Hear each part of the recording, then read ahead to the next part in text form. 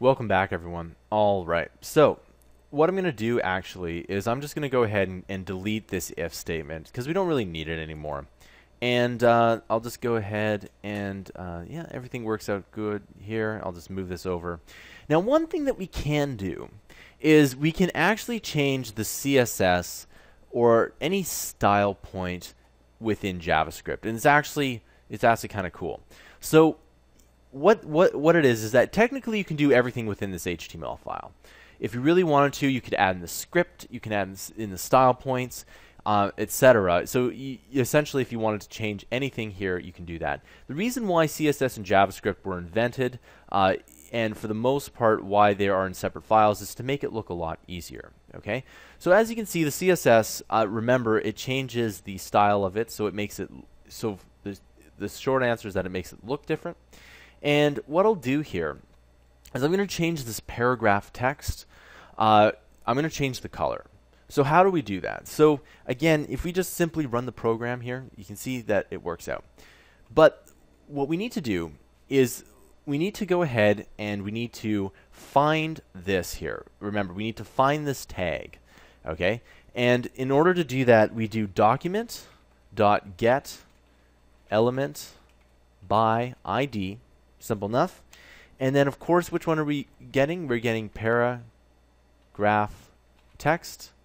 Okay. this time, though, we're going to go dot style because again, there are style uh, in HTML. There are style tags, and in CSS, we essentially take those style tags out. So dot style, and then you type in whatever you want. So you can change, you know, the background color, you know, the color, etc. So let's just change the color it's pretty simple. And we'll change it to maroon. And maroon is the most underrated color. And there you go. So if I go ahead and I change something, so if I type in any kind of word here, uh, you can see that it changes. Now you may or may not be able to see that, so I'm going to change it to orange instead. So we're going to change it to orange like that, and there we go. Okay, and you can see that the text changes to orange here. Now, one thing I should probably mention, and um, I have mentioned this in my HTML classes, is that if you type in a paragraph here, uh, for example, and you, you say this is another paragraph like this, uh, you can see that um, they're both in the same color here because what the CSS does is it changes the style tags for everything, right? So if, if P here um, which is the paragraph tag, we can change it to red. And if I change this to, you know, maroon, like that, you can see they, they, they change to maroon.